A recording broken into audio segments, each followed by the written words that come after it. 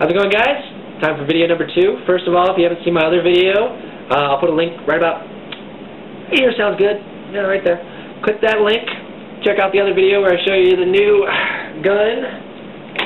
Uh, it's not a new gun in total. I just got rid of the flatline for the Apex 2. Um, and a lot of other parts had to come with it. And that's what I wanted to talk about today, actually, was... Uh, a lot of people ask me a lot of questions like, well, the number one question is how much? Right now, this gun is sitting at $1,467 and some change.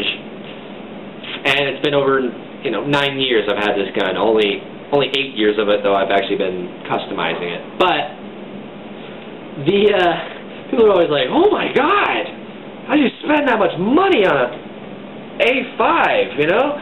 Good lord, uh, what does it do? Does it transform into a motorcycle? I mean, come on, you could have bought a real gun. Yeah, I could have bought a real gun, but I couldn't shoot you with a real gun. I've seen guys do much more insane things to guns. I've seen them do, they mill their own parts, you know, and, and make a, you know, a grenade launcher that really shoots grenades or something. I mean, they've done some crazy things to these guns. I've seen, these are just store-bought parts put in, put together in the proper proportion a lot of these parts are pretty unique because I go and find strange parts on purpose to say I, I want something that no one else will have on their gun. And a lot of these parts people do have on their gun now. Eight years ago they didn't. Now some of these things definitely nobody has them now. But one thing I want to talk about now, use start an example is just the Apex 2. Well, okay. When I got the gun, I bought the flatline barrel because back then this is the only way to do that. But now, eight years later, I needed the uh, Apex 2 to get that on there. Well, I already have the grenade launcher. I already have my rail armor. I don't want to get rid of that stuff. So I need a shroud. I needed a shroud. I had to get a very specific shroud. I gave all my reasons for giving that getting that shroud on my previous video. So go watch that, rewind the video, and get that link that's right here. Um, but I had to get a very specific shroud. So we got a $50 part right here, 50, 60 bucks. Now we got another $50 I had to buy to get this, this part. Well, now that I have the shroud, there was a lot of skepticism whether the barrel that comes with the Apex 2 was going to fit because it's might have been too short. And the 18-inch would be like out here, and it'd be just ridiculous. I don't want to do that. So, well, what do I do that now? Well, somebody comes up and says, they make a 12-inch barrel for the, the uh, Apex 2 because the one that comes with the 14 is actually 11-inch because this guy adds 3 inches at the end. Oh, okay, well I'll get that. Another 50 bucks. So now a $50 part is now a $150 part to get all this stuff to work. Um, that's, I mean, that's the thing about this industry. Is like every time I go to buy something, I need seven more parts to make it really work. Um, scope. Let's talk about the scope. This is a cheap $30 scope. You can buy it at like you can buy it at Walmart. It's just a cheap scope. However, $30 scope, it was $20. I think it was more. I think it was like $25. Okay. $25 it says on there that I paid for these caps because the caps that it came with, they just slid on and off. You had to put them in your pocket. And I was like, I'm going to lose those. I need some flip-up caps. So you got 25 bucks. Get the thing home, get it all working. I'm like, sweet, let's put it on. Well, the tilted angled sight here line that I have here, sight rail here, it doesn't fit this scope. It, this scope needs a Picatinny rail or a Weaver rail, and this thing only is a dovetail. So, great. So now I had to find adapters. And those things were, where is that? Like, that's like another 10, 15 bucks plus shipping and all that, just to get the scope on the gun. And of course you needed the tilted uh, scope mount because the hopper's in the way. And granted, I could have bought an offset hopper, but back eight years ago, I couldn't do this. Plus, it gives me the second rail for the flashlight. Well, now I need a flashlight. And now I need a flashlight mounting bracket. I don't know what those costs are, but yeah. So parts just keep adding up as you as you do something. When I wanted the magazine, first of all, I started out with, you get the plastic grip that comes with the A5. I replaced that with aluminum because it's stronger and it was a little longer, so I thought, okay, that's cool. I don't want any plastic parts on my gun anyways. Now that all these guns are made out of plastic, but wanted plastic, gone, and aluminum. Now, eight years later, I was like, oh look, you can buy magazines that come off. Alright, so let's get one of those. So this gets thrown away, basically, after I've already spent money on it, probably 25 bucks again. Get this for 80 bucks, put it on, like, it's all cool, but, you know, it's just not unique enough. So, now we get online, find another one of these, and that's in one of my other videos, 20 bucks, and a, uh, and a little uh, double maggot clip here, 10 bucks. So it just adds up, you see, it just keeps building and building. I've got the E-grip on there, you know, which throws away the old grip, put the E-grip on, uh, and then eventually, at one point in time, I put a double trigger on there. Oh, this is a plastic double trigger, and I already stated I hate plastic, so um, you take this off, get the nice blade trigger, so you get that really sensitive fire and all that stuff. Uh, that's aluminum, yay! Uh, so you put that on instead, you know, that's another $35.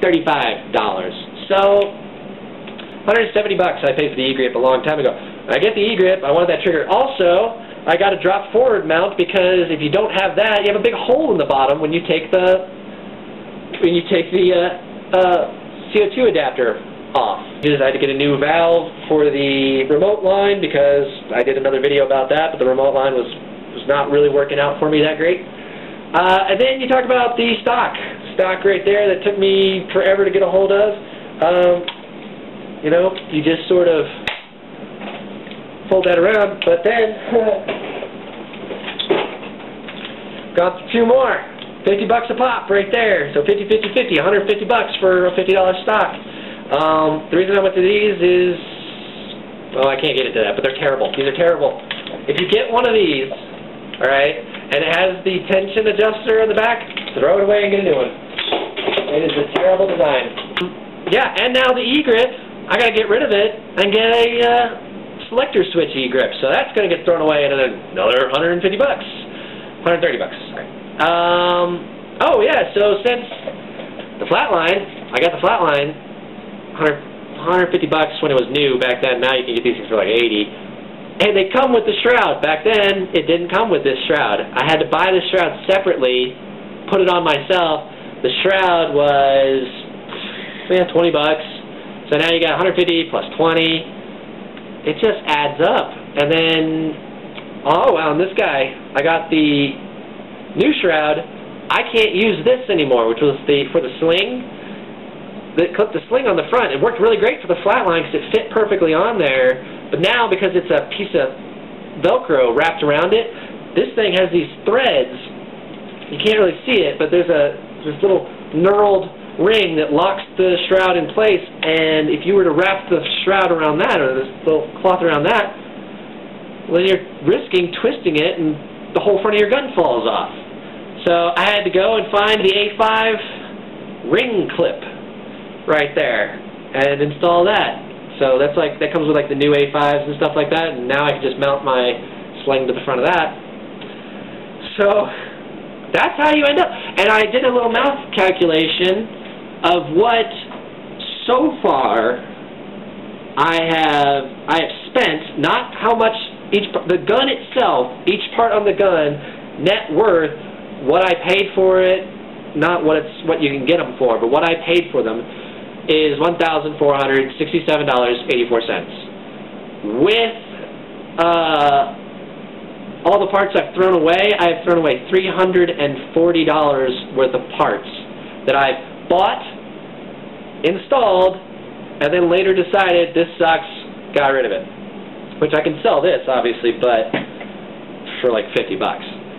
The uh, with all of that stuff I threw away, I threw away $340.93, bringing my total actual expenses on this thing out to $1,808.77. So, not a cheap hobby.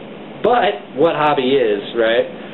But yeah, so when you're when you're looking to customize a gun, these are the things you got to think about. You got to think, hey, um, you might look at a part and say, oh wow, that's so cool, it's 50 bucks. Yeah, that's great. Especially since most of the stuff you have to order online, anyways. You pay that 50 bucks, it arrives, you put it on, and you realize, oh no, there's a problem. I gotta buy this now. You buy that part. You get that part on. Oh no, there's a problem. Got to put that part on. I know a lot of stuff on here is cosmetic. Now it's really nice to see, you know, I'm getting a lot of versatility because I got the Apex barrel, and that's actually going to improve performance. Uh, uh, I want a new scope now. Uh, fell in love with a scope online, but, you know, that's just going to, I probably won't buy it just on the principle of this is, you don't really use it anyways. And a lot of this stuff, too, you got to go back and watch my reviews and understand and say the grenade launcher, I had I had to buy this shroud. I had to go through all the misery of this shroud. It took four weeks to get it. I, I no no joke got stuck in a tornado while trying to get a hold of it. It's all in the other video. Uh, it was a maddening situation. It's kind of difficult to get on the gun, and once you get it on, you never ever want to take it off again. You don't even want to loosen it. Nothing. You don't even want to take the barrel off. I just want it permanent like this because it's such a nightmare. Uh, you get the grenade launcher. You pay fifty to eighty dollars for each grenade. Uh, in the end, you know, you pay all this money, and I'll tell you one thing: this thing is not practical. There's no use for this thing at all. It's just cool to have. So you just, it's really you gotta you gotta think about, and it's an investment and everything like that. Uh, another thing I was thinking about the other day is if you, a lot of people are asking me questions about magazine-fed systems. I got the first strikes to play with them, and uh, I just fired one of these with a grenade, a fully powered grenade, Oh, I got I got gay and giddy for a minute. I was like, oh my god! I was so excited over that thing. It flew like a rocket. So, yeah, I just turned my grenade launcher into a rail gun. So yeah, but I was thinking about the magazine feed system. Tiberius arms, these are cool. I like them. Good, good job. But they're not at all practical. You got to pay $900 for a gun with a magazine that holds 15, you can't fire them full auto. You have to have a big field or you're just wasting it because they're, they're too hard to shoot up close. So you got to have a big field so you can use the sniping ability of it. Um, and you got a magazine with 15 shots. That's $50 a magazine 15 shots isn't going to last you anything in any game, so you got to have more magazines. you got to buy $50. You already paid 900 for the gun. Now you got to buy 50, 50, 50, 50. I'm not going to do any math there. It's a lot. You got to load them all individually each round. You can't just, you know, dump and go. You got to, it's, it's, it's just like, wow, like I would want one, but I would probably never use it just on how complicated it would be to use. It's cool, but it's just not, it's there's no reason to play like that. I would have one as a backup gun maybe, but like I would think any I go out on the field and some guy's got a Tiberius Arms gun that he's like, oh, I'm gonna snipe people. I'm just gonna turn this gun to full auto and be like, hey, I'm dumping 300 rounds into my hopper right now. One of them will get you while you're sitting there aiming carefully. You know, I, it's just yeah. I mean, that's the thing about this sport. You buy you, you know something that's cool, something that's neat and you end up spending three times as much as you planned just making it work the way you want it to. That's how you end up spending that much money, and it's that's a warning to anybody that's considering you know customizing a gun. It's not cheap. Um, most of you, I tell you, you know, I'm like, oh, get an A5. They're nice and cheap. If you want it to work like this, look like this, it's going to cost you, but but do it like I did it. It took nine years. I paid, according to my math, that's 50 cents a day I paid. All right. Uh, granted, yes, I'll sit down and pay 131 one month, and 50 the next month, and 30 the next month. It, it, it changes, but it's just not it's not cheap. But what hobby is so? But that's how you end up spending that much money. Just to answer all your questions. I know that was really complicated, but thank you for watching all that, and uh, we'll talk to you guys later.